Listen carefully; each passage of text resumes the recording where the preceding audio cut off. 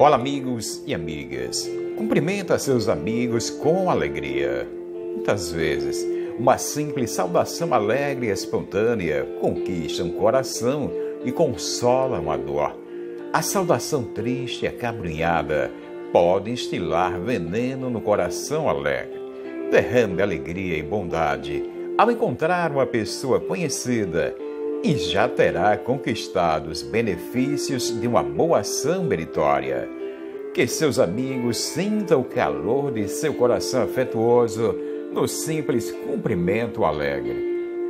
Você acabou de ouvir Minuto de Sabedoria com radialista e mestre de cerimônias Everton Guedes.